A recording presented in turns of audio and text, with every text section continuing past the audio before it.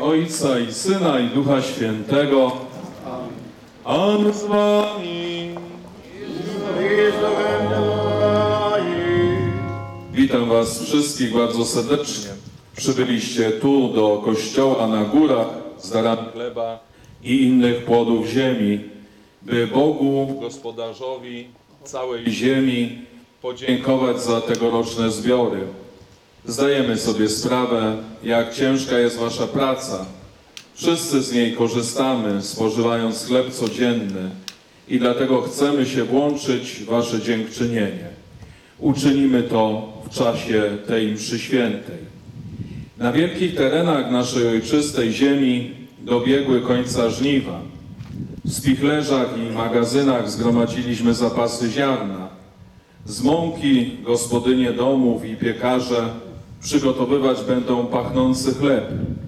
Bochen chleba to owoc ziemi i historia pracy ludzkich rąk. Przede wszystkim jednak to dar hojności Boga Stwórcy i Ojca, który sprawia, że ziemia rodzi plony i który daje człowiekowi zdrowie, siłę i mądrość, aby przetwarzał owoce ziemi i przygotowywał je do spożycia dla siebie i swoich najbliższych. Rolnicy, ogrodnicy, sadownicy, działkowicze przynoszą dziś do kościoła owoce ziemi i pracy swoich rąk. Razem z nami wszystkimi pragną składać Bogu dziękczynienie za tegoroczne plony i prosić o błogosławieństwo, sprawiedliwość i miłość, aby wszyscy mogli się pożywić tym bochenkiem ojczystego chleba, by nikt z naszych braci nie cierpiał głodu. Música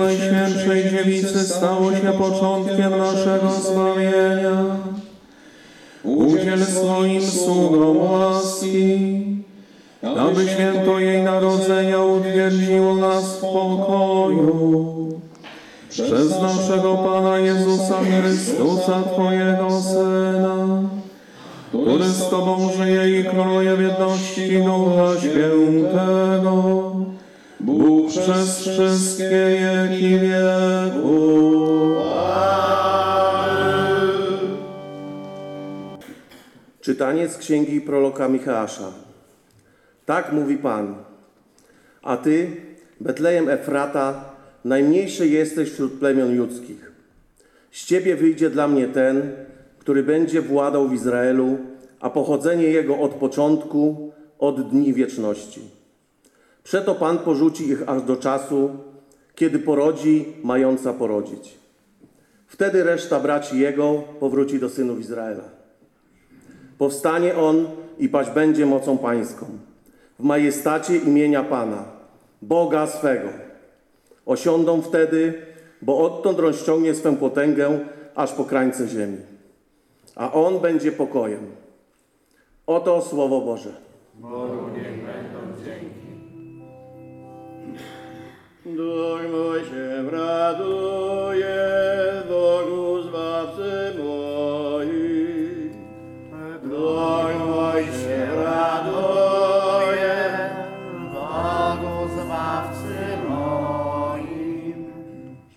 Śpiewajcie Panu pieśń nową, śpiewaj Panu ziemio cała. Śpiewajcie Panu, sławcie Jego imię, każdego dnia głoście Jego zbawienie.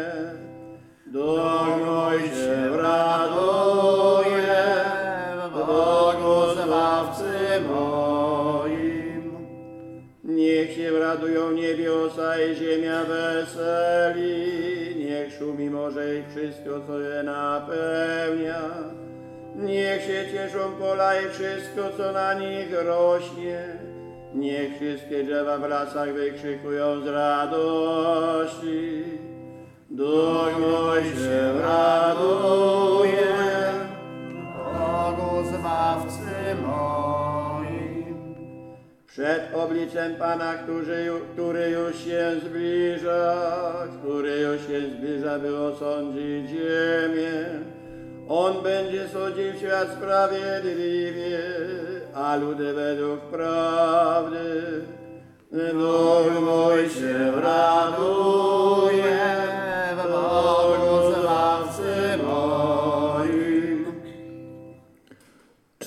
listu świętego Pawła, apostoła do Rzymian. Bracia, wiemy, że Bóg z tymi, którzy Go miłują, współdziała we wszystkim dla ich dobra, z tymi, którzy są powołani według Jego zamysłu, albowiem tych, których przedtem poznał, tych też przeznaczył na to, by się stali na wzór obrazu Jego Syna, aby On był pierworodny między wielu braćmi. Tych zaś, których przeznaczył, tych też powołał, a których powołał, tych też usprawiedliwił, a których usprawiedliwił, tych też obdarzył chwałą. Oto Słowo Boże. Bogu niech będą dzięki. Alleluja, alleluja,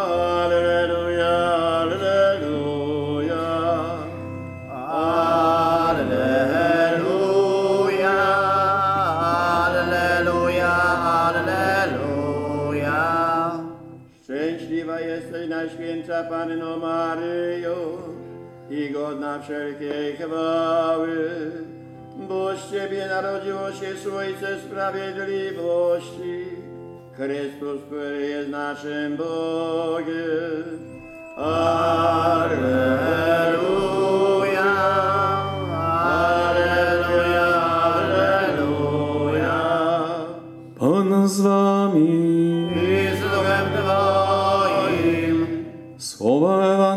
Według świętego Mateusza. Chwała Tobie, Panie. Z narodzeniem Jezusa Chrystusa było tak. Po, po zaślubinach matki Jego, Maryi, z Józefem, wpierw nim zamieszkali razem, znalazła się brzemienną za sprawą Ducha Świętego. Mąż jej Józef, który był człowiekiem sprawiedliwym i nie chciał narazić jej na zniesławienie, zamierzał oddalić ją potajemnie. Gdy powziął tę myśl, oto anioł pański ukazał mu się we śnie i rzekł: Józefie, synu Dawida, nie bój się wziąć do siebie Maryi, twej małżonki, albowiem z Ducha Świętego jest to, co się w niej poczęło. Porodzi syna, któremu nadasz imię Jezus. On bowiem zbawi swój lud od jego grzechów. A stało się to wszystko, aby się wypełniło słowo Pańskie powiedziane przez proroka. Oto dziewica pocznie i porodzi syna, któremu nadadzą imię Emmanuel, to znaczy Bóg z nami. Oto słowo Pańskie. Chwała Tobie, Chryste.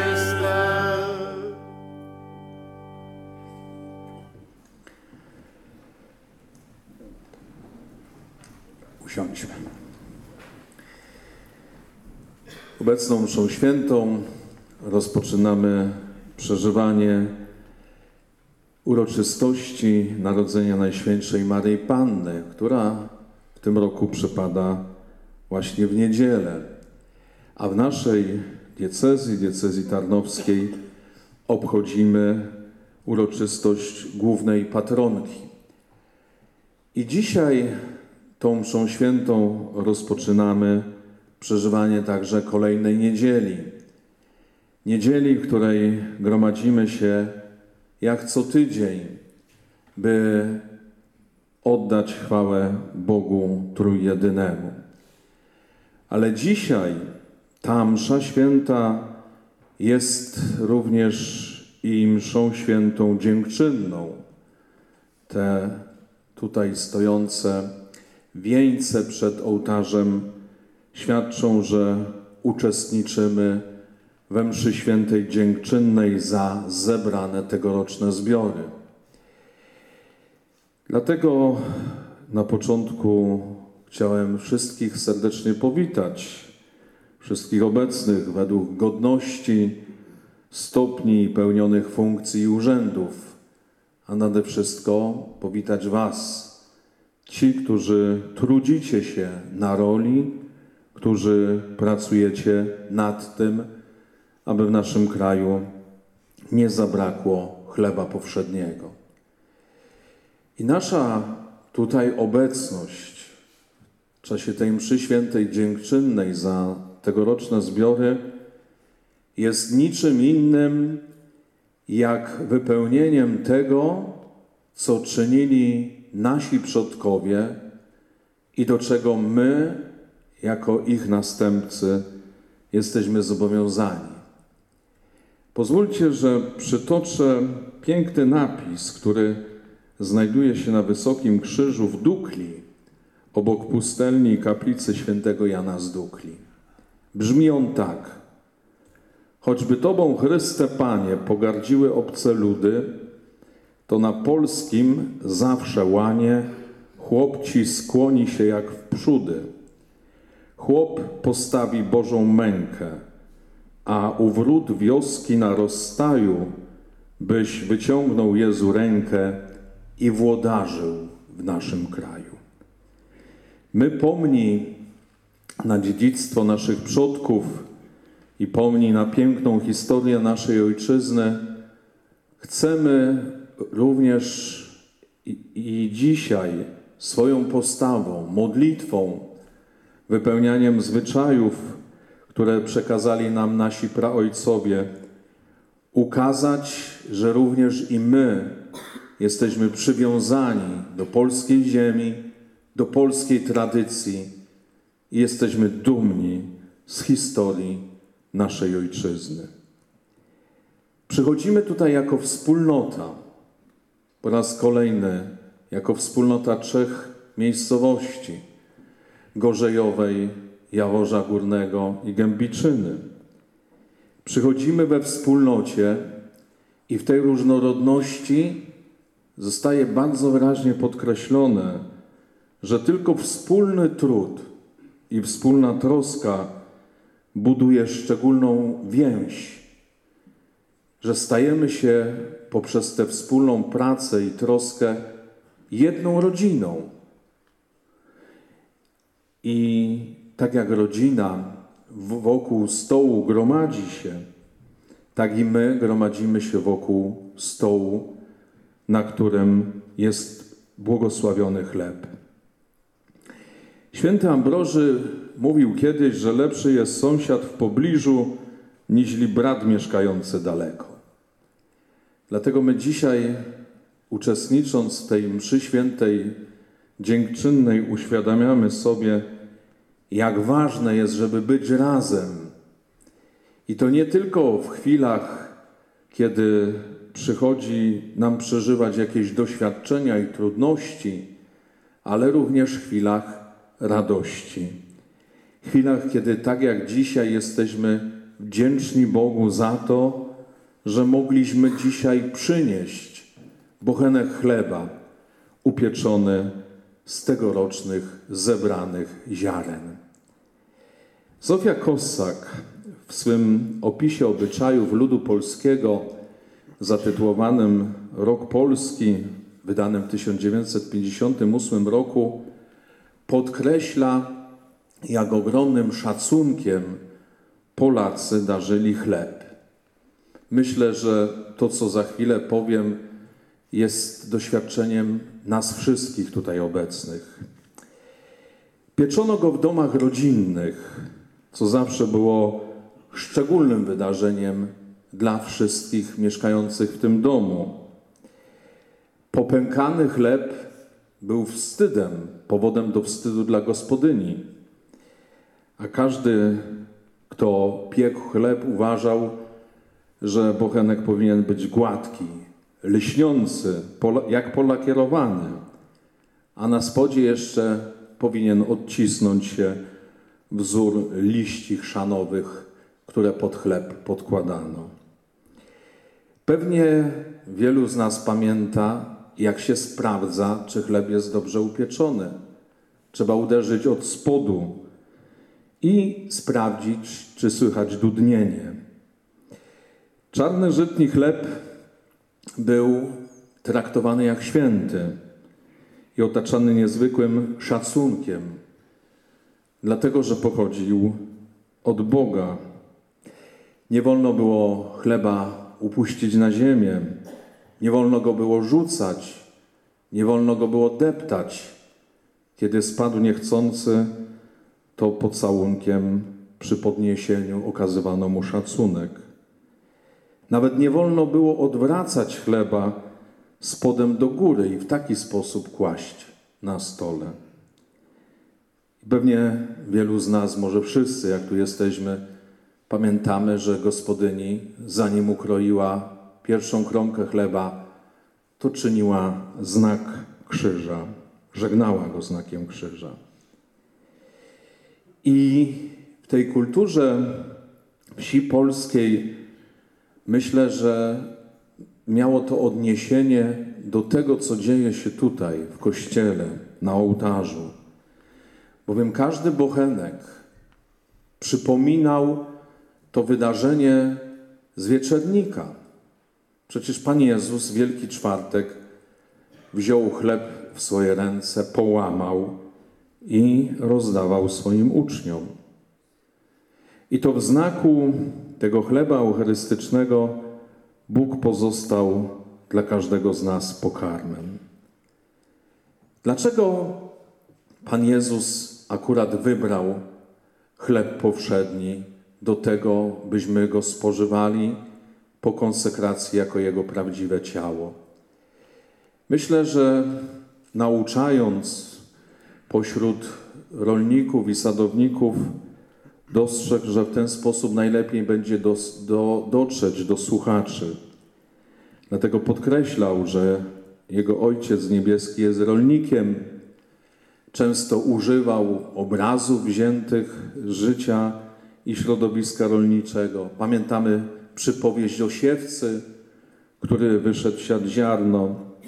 Pamiętamy przypowieść o chwaście i o pszenicy, ale też modlitwie, której nas nauczył, mamy zdanie: Chleba naszego powszedniego daj nam dzisiaj.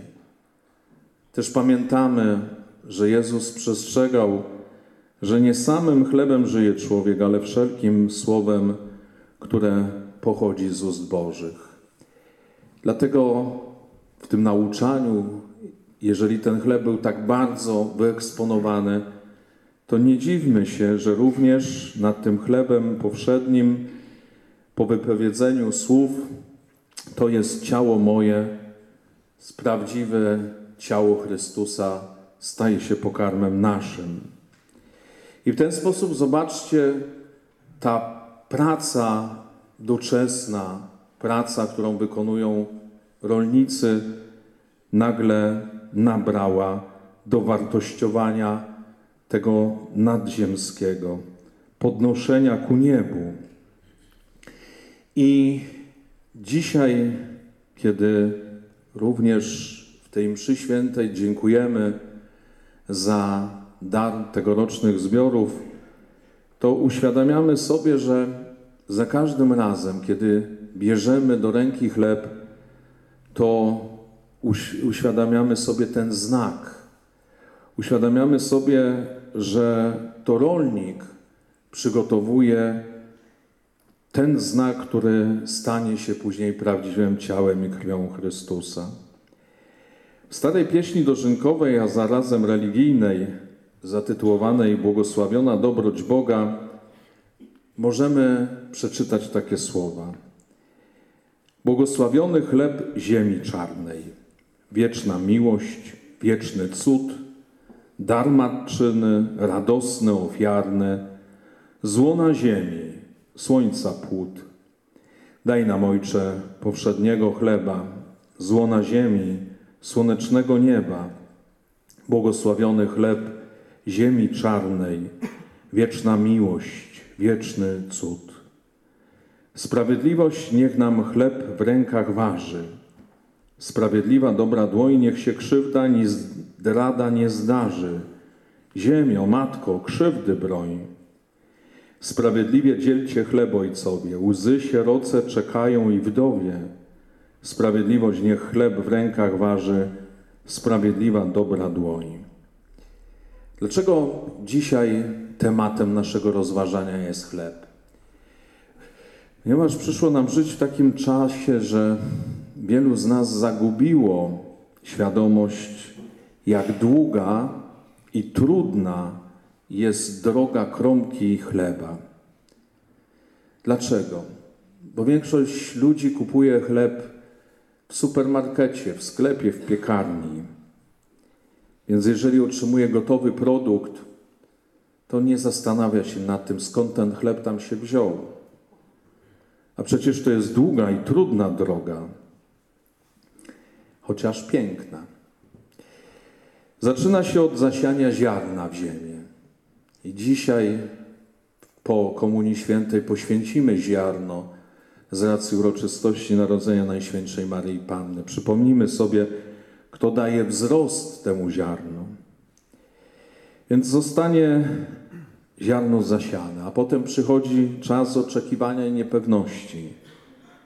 Wiemy, jak zmienna jest pogoda, wiemy, jakie grożą nam kataklizmy. I przychodzi czas żniw. Przychodzi trud ścięcia, wymłócenia, oczyszczenia ziarna, a potem trzeba to ziarno zawieźć do młyna, oczyścić mąkę. Później ta mąka wraca z powrotem do kuchni. Trzeba ją zmieszać z wodą, trzeba dodać, oddać w gorące oddechy ognia i dopiero wtedy ten chleb jest gotowy do spożycia. Powiedziałem, że gromadzimy się we wspólnocie. Zobaczcie, ilu ludzi potrzeba jest do tego, żeby ten bochenek chleba, który pojawi się na naszym stole, był i żeby był dosyta. Kardynał błogosławiony Stefan Wyszyński w książ- książce Ojcze Nasz tak napisał o chlebie. Zna się złoto i błoto, radość i pot, piękno i gnój. Z misterium wszechmocnej męki niemra- niemrawego trudu, z mieszaniny niebios i ziemi, z krzątaniny oracza niebieskiego i rolnika. W tysięcznych przemianach bożoludzkiej alchemii jawi się głodnym błogosławiony dar.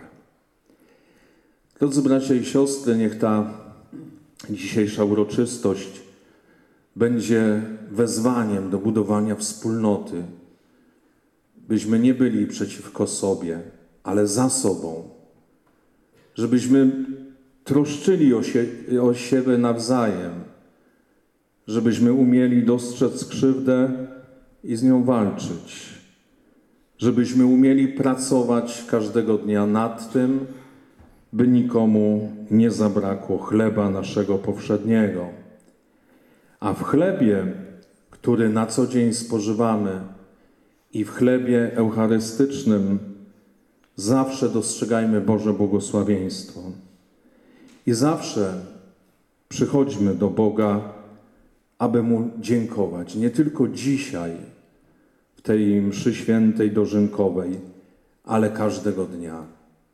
I prośmy dobrego Boga, aby w naszej ojczyźnie nie zabrakło chleba naszego powszedniego, by nikt nie czuł się głodny, by nikt nie czuł się odrzucony, ale by się wszyscy czuli jak w swoim domu, rodzinnym, w którym pełni radości gromadzą się wszyscy przy jednym stole.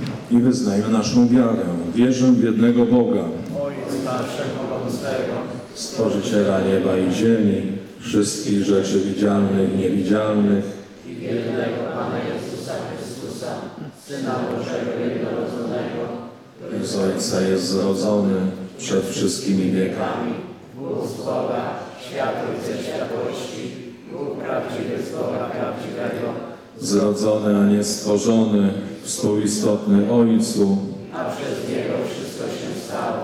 On to dla nas ludzi i dla naszego zbawienia wstąpił z nieba i za sprawą Ducha Świętego przyjął ciało z Maryi Dziewicy pod Poncjuszem Piłatem, został męczony i pogrzebany. I zmartwychwstał trzeciego dnia, jak oznajmia Pismo. Wstąpił do nieba, siedzi po prawicy Ojca i powtórnie przyjdzie chwale. Sądzić żywych i umarłych a królestwo Jego nie będzie końca. Wierzę w Ducha Świętego, Pana i Ożywiciela, którego Ojca i Syna pochodzi, który z Ojcem i Synem Wspólnie odbierał wielbienie i chwałę, który mówił przez proroków, Wierzę w jeden święty, powszechny, apostolski Kościół, wyznaję jeden chrzest na odpuszczenie grzechu i oczekuję zgrzeszenia umarłych i życia wiecznego w przyszłym świecie. Amen. Jeden jest Bóg i Ojciec wszystkich. On otwiera swoją rękę i karmi nas dosyta.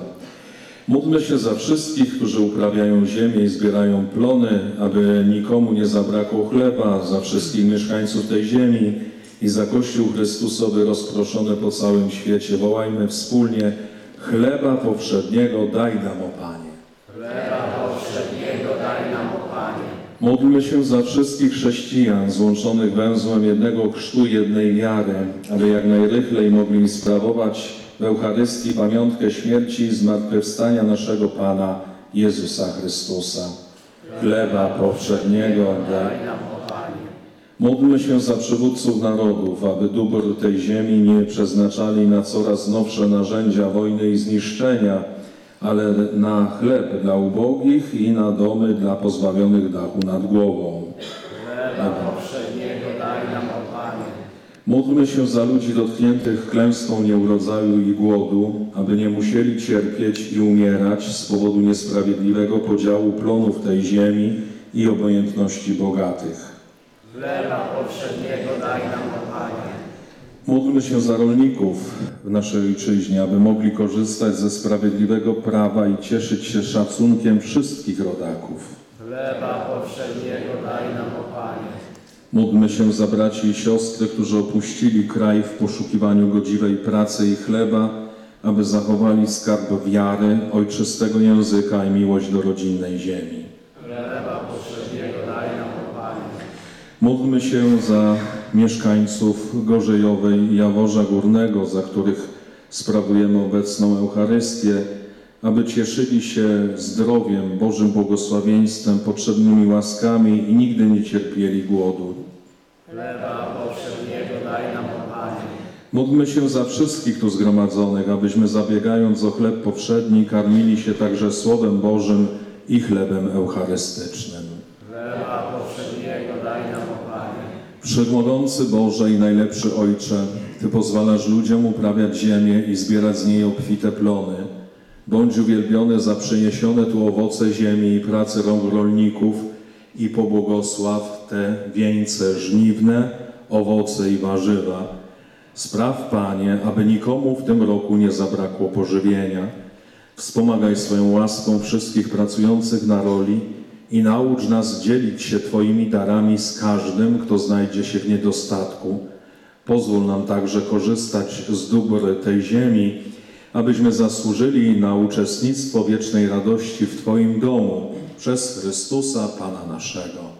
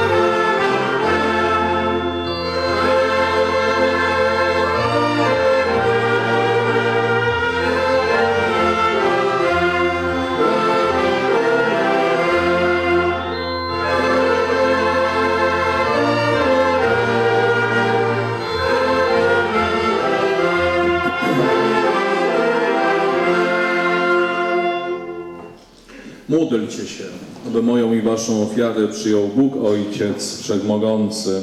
Niech Pan przyjmie ofiarę znów Twoich, na chwały swojego imienia, a także na pożytek nasz i całego Kościoła Świętego. Panie nasz Boże, niech nas wspomaga w swojej dobroci Twój Syn jednorodzony, który rodząc się z dziewicy nie naruszył panieństwa Matki, lecz je uświęcił. On oczyści nas z grzechów i uczyni naszą ofiarę miłą Tobie, który żyje i króluje na wieki wieków.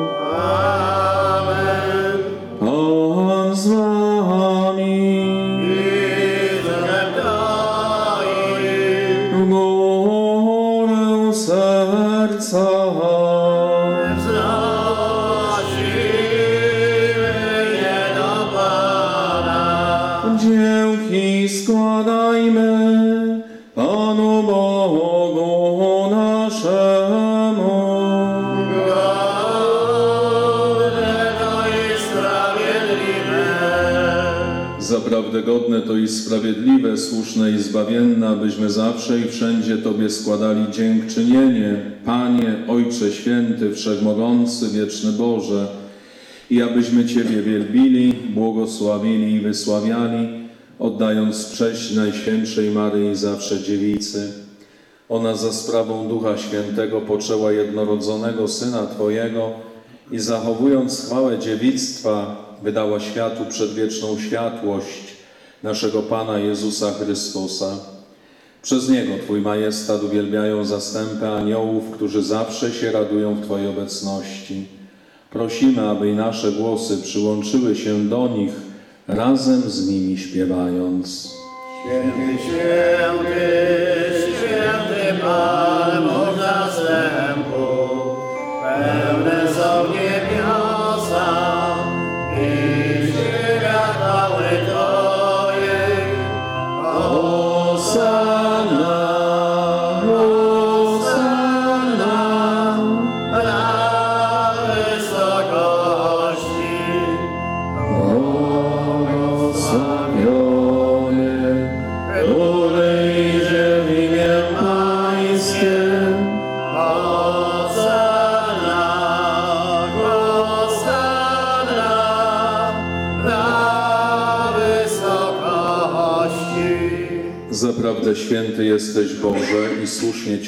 wszelkie stworzenie, bo przez Jezusa Chrystusa, Twojego Syna, naszego Pana, mocą Ducha Świętego ożywiasz i uświęcasz wszystko oraz nieustannie gromadzisz lud swój, aby na całej ziemi składał Tobie ofiarę czystą.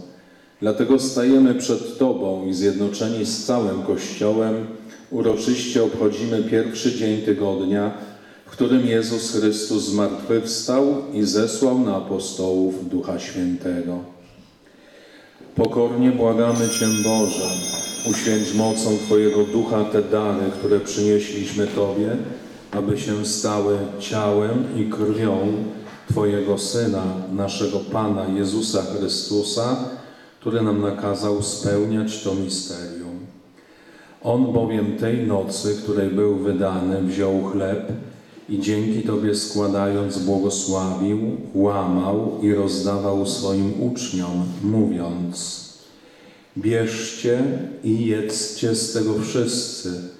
To jest bowiem ciało moje, które za Was będzie wydane.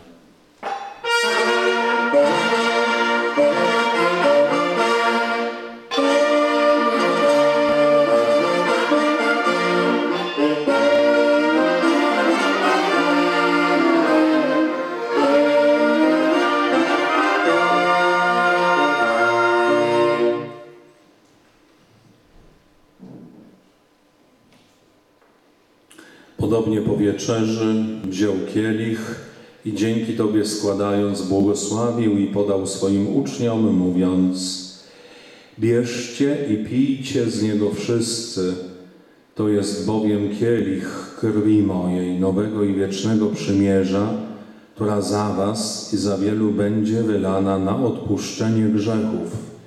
To czyńcie na moją pamiątkę.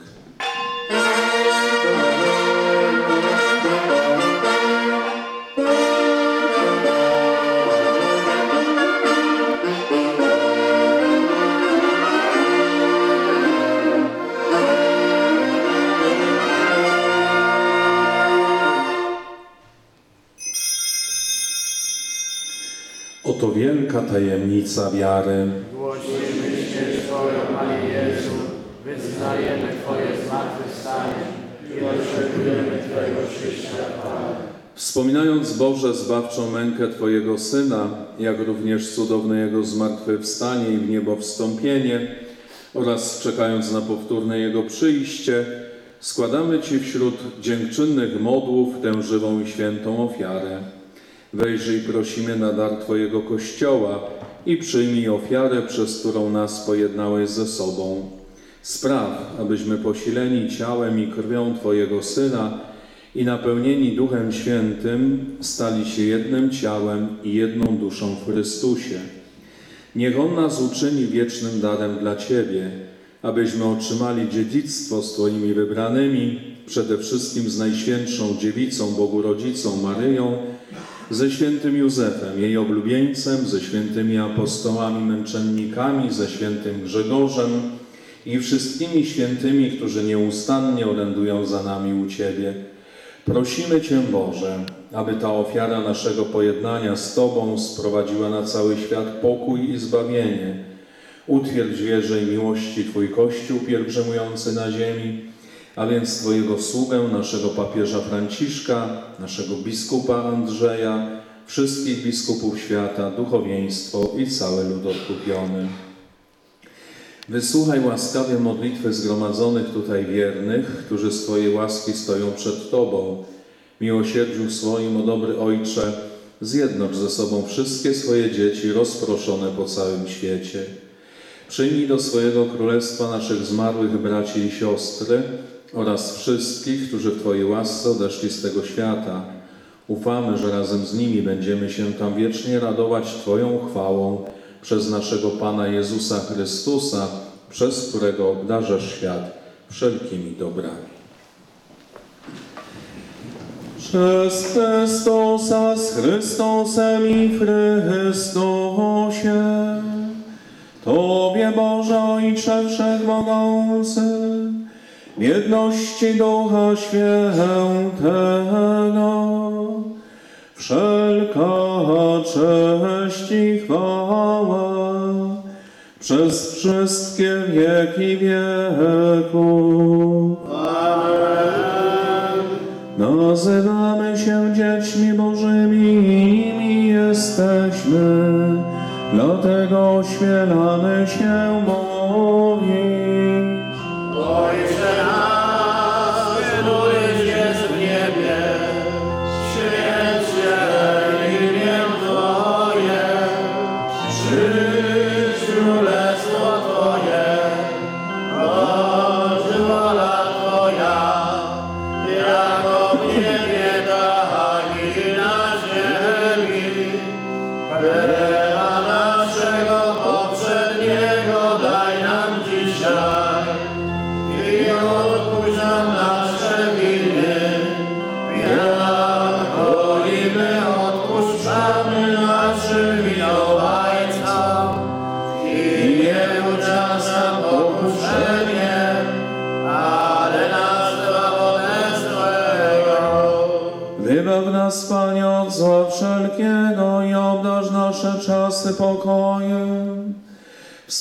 Nas w Twoim miłosierdziu, abyśmy zawsze wolni od grzechu i bezpieczni od wszelkiego zamętu, pełni nadziei oczekiwali przyjścia naszego Zbawiciela Jezusa Chrystusa.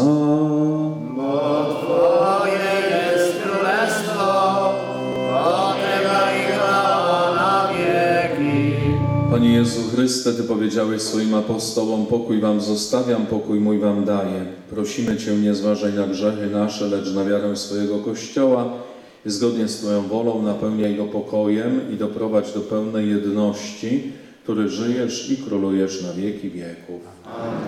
Pokój Pański niech zawsze będzie z Wami. I z duchem Twoim. Przekażcie sobie znak pokoju. Baranku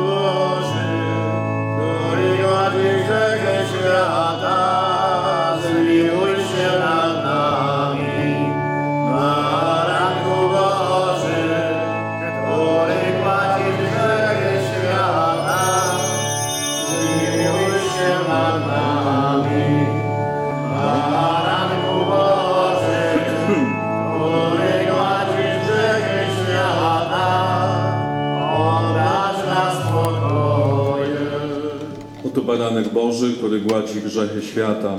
Błogosławieni, którzy zostali wezwani na Jego ucztę. Panie, nie jestem godzien, abyś przyszedł. który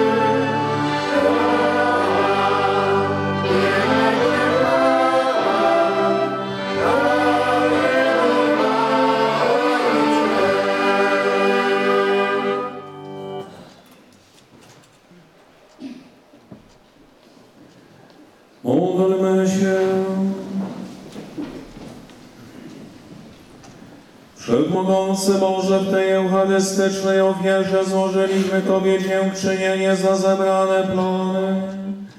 Sprawa weźmy wspieranie łaską płynącą z Eucharystii osiągnęli dobra nieprzemijające przez Chrystusa, Pana naszego.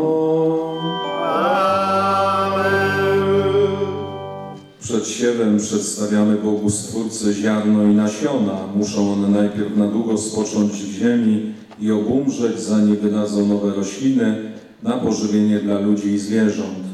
Za przyczyną Najświętszej Boga Rodzicy prośmy Wszechmogącego Boga, aby temu ziarnu dał moc obfitego plonu, a nam cierpliwą ufność w Jego ojcowską opatrzność.